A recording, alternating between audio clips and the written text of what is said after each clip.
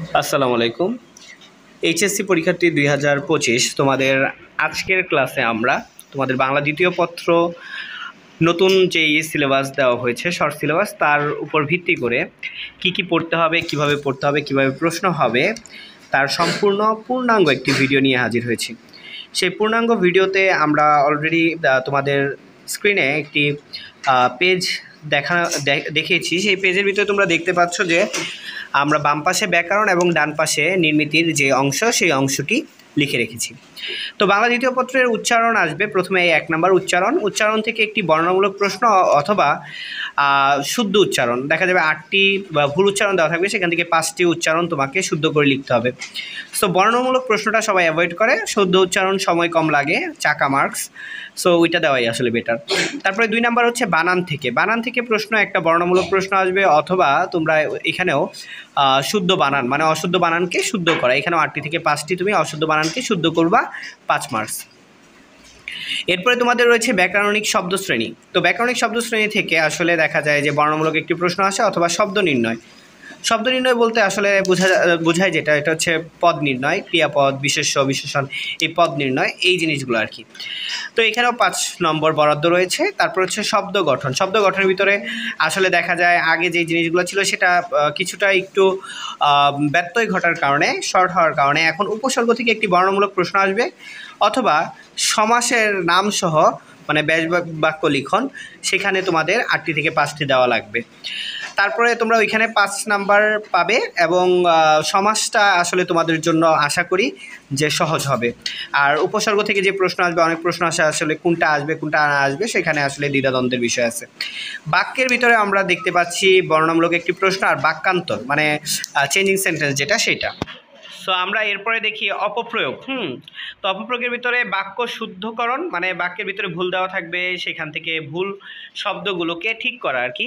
আরেকটা হচ্ছে অনুচ্ছেদ শুদ্ধকরণ, দেখা যায় অনুচ্ছেদটা ভুল দেওয়া থাকে, সেই অনুচ্ছেদ শুদ্ধকরণের কথা বলা হয়ে থাকে। তো এই ক্ষেত্রে বাক্য শুদ্ধকরণটাই স্টুডেন্টরা অ্যান্সার করে থাকে এবং এটাই আসলে বুদ্ধিমানের কাজ। তো এই হলো তোমাদের তিরিশ নম্বর ব্যাকরণে। তো ব্যাকরণের তিরিশ নম্বরের ভিতরে আসলে দেখা যাচ্ছে তিরিশের তিরিশ তোলা যায় খুব ইজিলি সেই ক্ষেত্রে আমরা ধাপে ধাপে ক্লাস নিয়ে আসব, উচ্চারণের কিছু সাজেশন নিয়ে আসব, উচ্চারণের আমরা কিছু প্রশ্ন দিব বর্ণমূলক এবং কিছু অশুদ্ধ উচ্চারণকে শুদ্ধকরণ সেই ক্ষেত্রে আমরা দুই থেকে আড়াইশো দিয়ে দিব। সেগুলো তোমরা ভালোভাবে বুঝে বুঝে করলেই আশা করি তোমরা পেরে ফেলবে। তো এরপর হচ্ছে নির্মিত অংশ সত্তর নম্বর বরাদ্দ রয়েছে। এই ক্ষেত্রে তোমরা দেখতে পাচ্ছ শুরুতেই অনুবাদ থেকে আসলে আসে অথবা পারিবেশিক শব্দ। সো এক্ষেত্রে অনুচ্ছেদ আছে, অনুবাদের। একটি দেখা যায় যে ইংরেজি অনুচ্ছেদ আর্টিকেল দেওয়া থাকে, সেইটা তোমাদেরকে পূর্ণাঙ্গ একদম মনে করো, সেটাকে তোমাদের শুদ্ধ মানে বাংলা লিখতে হয়। আর একটা হচ্ছে, অনুবাদ করার পর একটা হচ্ছে পারিবেশিক শব্দ। এখানে পারিবেশিক শব্দের ভিতর হচ্ছে পনেরোটি পারিবেশিক শব্দ দেওয়া থাকবে। সেখান থেকে দশটি লিখবা, সবাই পারিবেশিক শব্দটাই অ্যান্সার করার চেষ্টা করবা। এখানে কিন্তু চাকা মার্কস তারপর হচ্ছে ভাব সম্প্রসারণ, সারাংশ, সারমর্ম, ঠিক আছে? ভাব সম্প্রসারণ থেকে একটা থাকবে আর সারাংশ সারমর্ম থেকে একটা থাকবে। অর্থাৎ সারাংশও থাকতে পারে সারমর্ম থাকতে পারে, কিন্তু ভাব সম্প্রসারণ থাকবে হান্ড্রেড পার্সেন্ট এটা হচ্ছে দশ নম্বর বরাদ্দ আছে, ঠিক আছে? এখানে তোমরা যে যেটা আসলে ভালো লাগে, যার হাতের স্পিড অনেক বেশি, সে ভাব সম্প্রসারণ দিবা, সুন্দর করে লেখা যায় ভাব সম্প্রসারণ। সারাংশ সারমর্ম হচ্ছে যৌক্তিক কথা লিখে যদি সুন্দর করে গুছায় একটু সাহিত্যিক ভাবসাব দিয়ে লিখতে পারো, সেক্ষেত্রে সারাংশ অল্প সময় ভালো মার্কস তোলা যায়। এরপর হচ্ছে আবেদনপত্র অথবা চাকরির যেটা আর কি সিবি টাইপের সেটা। আরেকটা হচ্ছে ইমেল হুম ইমেল হচ্ছে বৈদ্যুতিক পত্র যেটা। এইগুলা থেকে আসলে থাকবে দুইটা। তো তুমি যেটা দিতে পারো, আবেদনপত্রও দিতে পারো অথবা ইমেলও দিতে পারো। এখানে দশ নম্বর বরাদ্দ থাকবে। প্রতিবেদন আর দিনলিপি ভাষণ বাদ গেছে, খুব ভালো হয়েছে, আশা করি অনেকের জন্যই। প্রতিবেদন অথবা দিনলিপি প্রতিবেদন দেওয়াটাই হচ্ছে বুদ্ধিমানের কাজ। সংলাপ আর খুদে গল্প, তো এটা সংলাপ রচনা, তুমি অনেক কিছু লিখতে পারবা, অনেক কিছু তৈরি করতে পারবা মানে ডায়লগ ইংলিশে যেটা আর কি। সো এইখানে দশ নম্বর বরাদ্দ আছে, সংলাপ অথবা খুদে গল্প আসবে, সংলাপ দিতে পারো।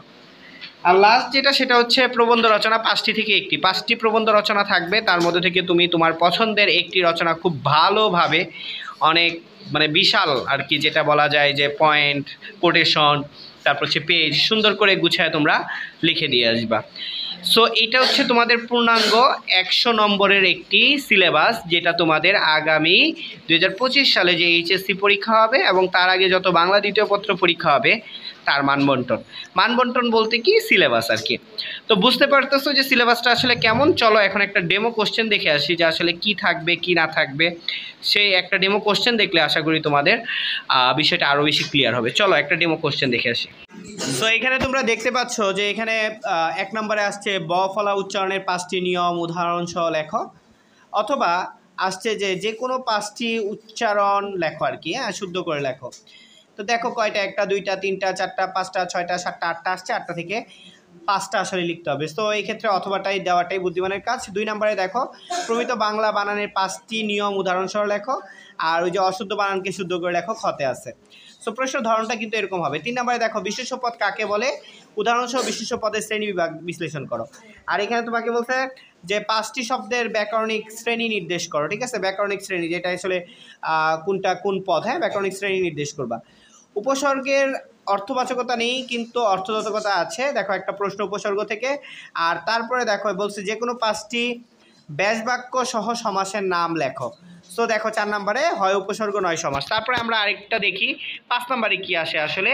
সো আমরা এরপরে দেখি হচ্ছে পাঁচ নাম্বার। পাঁচ নাম্বারে বলছে হচ্ছে, গঠন অনুসারে বাক, বাংলা বাক্য কত প্রকার ও কী কী? উদাহরণ সহ আলোচনা করো। ওই যে বাক্য থেকে একটা বর্ণমূলক প্রশ্ন আরেকটা হচ্ছে বলছিলাম যে পাঁচ নম্বরে সেটার অথবাই থাকবে হচ্ছে বাক্যান্তর। এই যে দেখেন দেখো যে নেতিবাচক বাক্যে রূপান্তর করতে বলছে, জটিল বাক্যে রূপান্তর করতে বলছে, যৌগিক বাক্যে রূপান্তর করতে বলছে। তো এরকম চেঞ্জিং সেন্টেন্স আর কি যেটা আমরা বলে থাকি। আর ছয় নম্বরে থাকে, নিচে যে কোনো পাঁচটি বাক্য শুদ্ধ করে লেখো। বাক্য শুদ্ধ করে লেখো, এখানে ভুল থাকবে, অপপ্রয়োগ থাকবে। সেটা হচ্ছে তোমাকে শুদ্ধ প্রয়োগ করতে হবে। বিধি লঙ্ঘন হয়েছে, এখানে যে ভুল আছে সেটা সংশোধন করতে হবে। আমৃত্যু পর্যন্ত দেশের সেবা করে যাব। তো এখানে কিন্তু ডাক দিয়ে দিবে না যে আসলে কোনটায় ভুল আছে। তোমাকে বুঝে নিতে হবে, বুঝে নিয়ে তোমাকে ওইটা শুদ্ধ করতে হবে। সো ছয় নাম্বার আরেকটা অল্টারনেটিভ হিসেবে কী থাকে সেটা অলরেডি আগের পেজে তোমরা একটু খেয়াল করলেই দেখবা যে সেখানে ডান পাশে উপরেই আছে যে অনুচ্ছেদ শুদ্ধ অনুচ্ছেদের অপপ্রয়োগগুলো শুদ্ধ করে লেখো। তো এই যে মাননীয় রাষ্ট্রপতি আসছে, আগামীকাল সন্ধ্যা আট ঘটিকায়, তো এইটা আর কি, এখানে ভুল টুল আছে সেই ভুলগুলো তোমরা শুদ্ধ করে লিখবা। সাত নম্বর বলছে, যে কোনো দশটি শব্দের বাংলা পারিভাষিক শব্দ লেখো। ওই তো, বাংলা পারিভাষিক শব্দ আর কি। এখানে পনেরোটা আছে, পনেরোটা থেকে দশটা লিখবা। আর অথবা দেখো, অনুচ্ছেদটি বাংলায় অনুবাদ করো। সুন্দর একটি অনুচ্ছেদ দেওয়া থাকবে, সেটাকে বাংলায় অনুবাদ করব। তো পারিভাষিক শব্দ দেওয়াটাই আসলে বুদ্ধিমানের কাজ। এরপরে আট নাম্বারে কি আছে দেখো?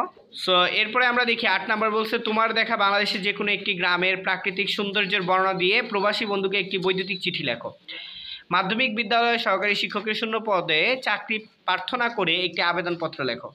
So one kind of CV এটার মধ্যে তোমার আবেদনপত্র লিখে পাশাপাশি তোমার ডেজিগনেট সরি মানে এডুকেশন কোয়ালিফিকেশন যেগুলো আছে সেগুলো দিতে হবে। নয় নম্বরে বলছে যে, নববর্ষ উদযাপন উপলক্ষে একটি দিনলিপি লেখো অথবা একটা প্রতিবেদন লেখো কি তোমার দেখা, একটি গ্রামীণ মেলার উপর প্রতিবেদন রচনা করো। আচ্ছা আর দশ নম্বরে দেখো ভাব সম্প্রসারণ হ্যাঁ? সারাংশ অথবা ভাব সম্প্রসারণ তো সারাংশ আছে একটা দেখো সরি সামম আছে একটা দেখো।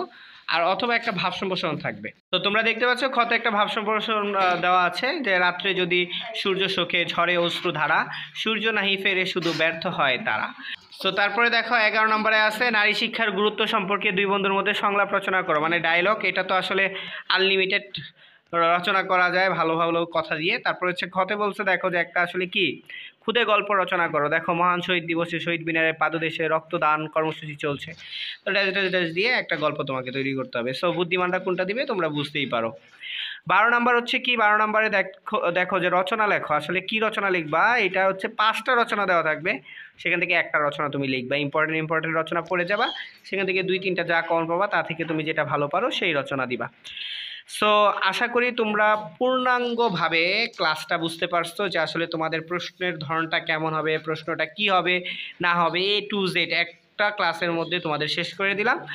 সো যদি তোমাদের এই ক্লাসটা কোনো উপকারে আসে, তাহলে অবশ্যই চ্যানেলের সাবস্ক্রাইব বাটনটিকে তোমাকে অবশ্যই ক্লিক করতে হবে এবং পাশে থাকা বেল আইকনটিও একটু ক্লিক করে দাও, যেন পরবর্তীতে তুমি সকল ভিডিও পেয়ে যাও। এছাড়া কমেন্ট সেকশনে জানাও যে কোন ভিডিও তোমাদের দরকার। কি দিলে তোমাদের উপকার হয়, তাহলে এইচএসসির ভিডিওগুলো কন্টিনিউ করব। আজকের মতো আল্লাহ হাফেজ, সবাই সুস্থ থাকো, ভালো থাকো, আসসালামু আলাইকুম।